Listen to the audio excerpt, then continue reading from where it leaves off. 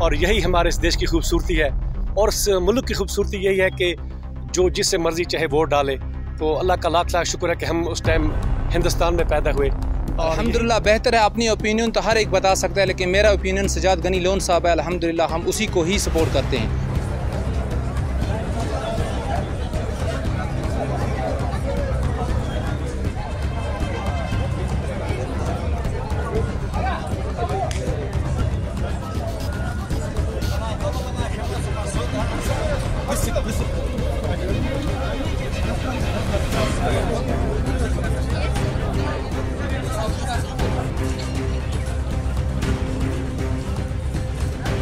سر، خلیفہ خان جی دیور میں ککرپت جی سر، ووٹ ڈالا اور شکر مالک اور سب گاؤں والے جمع ہیں۔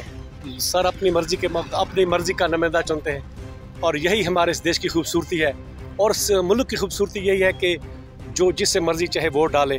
تو اللہ کا لاکھ لاکھ شکر ہے کہ ہم اس ٹائم ہندوستان میں پیدا ہوئے۔ اور یہی تو اس دیش کی خوبصورتی ہے۔ یہی ایک لاجواب دیش ہے۔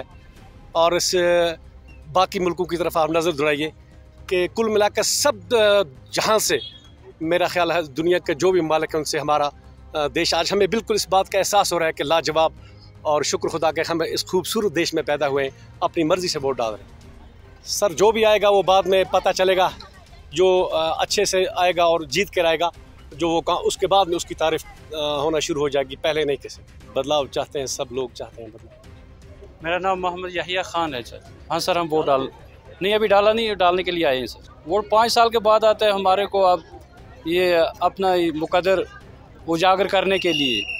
پانچ سال سے پہلے تو ہمارے کوئی پوچھنے والا نہیں ہے، لیکن پانچ سال کے بعد ہم آتے ہیں اپنے مقدر کو دیکھنے کے لیے۔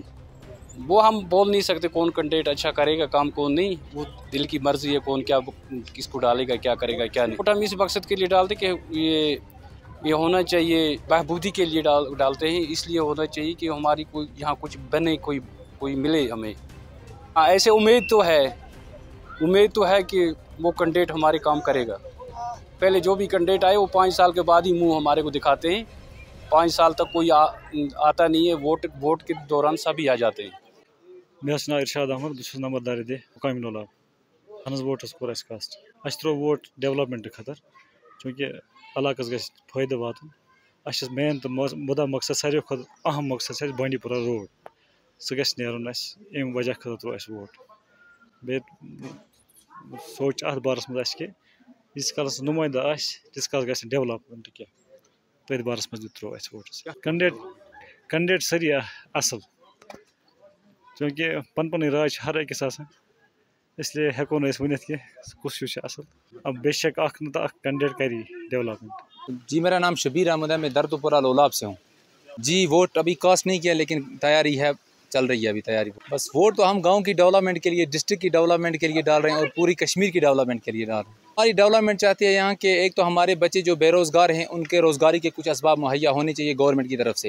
اور اس کے مزید جو ہمارے بے روزگار نوجوان ہیں، ان کے لیے یہاں اگر ٹوریزم پلیس کسی جہاں ہماری ناگمرگ لولاب ہے یا کہ لسکوٹ ہے یا کہ اور باقی ادھر کائڈ ون ہے، ادھر دردپورہ میں بہت جگہ ایسے ٹورسٹ پلیس ہیں۔ اگر گورنمنٹ اس کو ڈیولپمنٹ کرے گی ٹوریزم زمرے میں لے جائے گی، تو ہمارے بہت سارے نوجوان جو بے روزگار ہیں، ان کا روزگار کھڑا ہو جائے گا۔ اور خاص کر اس وقت میں آپ کی چینل کے مادھیم سے ایڈمنسٹریشن سے یہ گزارش کرنا چاہتا ہوں کہ پچھلے پندرہ بیس سالوں سے ہمیں بانڈی پورہ روڈ کی ہماری جو ڈیمانڈ ہے، وہ ابھی تک پوری نہیں ہوئی۔ اس لیے آپ کی چینل کے مادھیم سے ہم یہ گزارش کرتے ہیں کہ اس وقت ہم نے جو ووٹ ڈالا ہے ہماری سب سے اولین پیارٹی ہے بانڈی پورہ روڈ جو ہماری بانڈی پورہ روڈ کے بارے میں ڈیولپمنٹ بانڈی پورہ کے روڈ کے بارے میں پہل کرے گا، ہمارا ووٹ سپورٹ اسی کو رہے الحمدللہ، بہتر ہے، اپنی اوپینین تو ہر ایک بتا سکتا ہے، لیکن میرا اوپینین سجاد غنی لون صاحب ہے، الحمدللہ، ہم اسی کو ہی سپورٹ کرتے ہیں۔ یہ میں اب، میں نے اپنا اوپینین بتایا، باقی عوام کا عوام کی کو خبر ہوگی، وہ کیسا ہے، کیا ہے۔ الحمدللہ، موجودہ سرکار نے ڈیولپمنٹ اچھی کی، ہم ان کی بھی شکر گزار ہیں، انہوں نے، ان کے حق میں جو تھا، انہوں نے کیا۔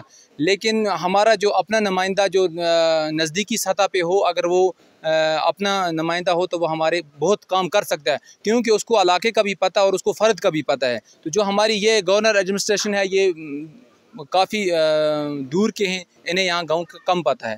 ہمارا جو یہ درد پورہ ہے، خاص کر یہ پسماندہ علاقہ ہے، اس میں جو ہمارا درد پورہ بھی ہے، اس میں کل گیرہ ملازم ہیں۔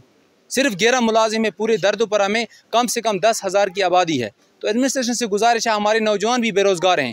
اگر کوئی ان کا روزگار کے وسائل مہیا ہو تو وسائل تو وہ ہمارے لیے زیادہ بہتر ہے۔ ہمارے بچے یہاں سے سری نگر مزدوری کے لیے جاتے ہیں، پڑھے لکھے بی ایڈ لڑکے ہیں۔ تو اس لیے ایڈمنسٹریشن سے گزارش ہے کہ اس بارے میں پہل کریں، ہمارے بچوں کے لیے کوئی روزگار کا اسباب مہیا کریں۔